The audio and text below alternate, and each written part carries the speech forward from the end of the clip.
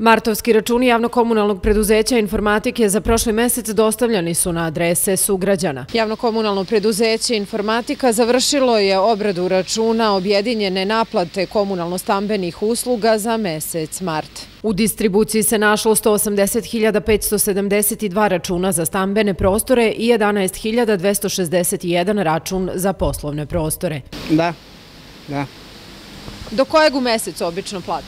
Pa ovo što je zakonski zahtev. Supruga plaća uredno. Pa kako kad, ali usplatim do uglavnom 20. U akciji Plava kućna računaljka broj oslobođenih obveznika u ovom mesecu je 377. Ne, ne. A da li ste bili nekad oslobođeni nekog računa informatike? Jednom. Jednom pre dve godine možda. Znam i to bodovi. Jeste li bili oslobođeni nekad? Ne ne ispunjavam uslove po tome. Period za obračun kamate za stambene prostore je od marta 2022. do januara 2023. godine, a za poslovne prostore je od marta 2020. do januara 2023. saopšteno je iz ovog preduzeća.